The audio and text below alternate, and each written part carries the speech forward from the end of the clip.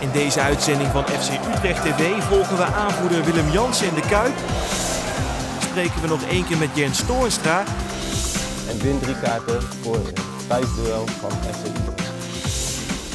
En blikken we vooruit op Heerenveen. Dit alles en meer in FC Utrecht TV.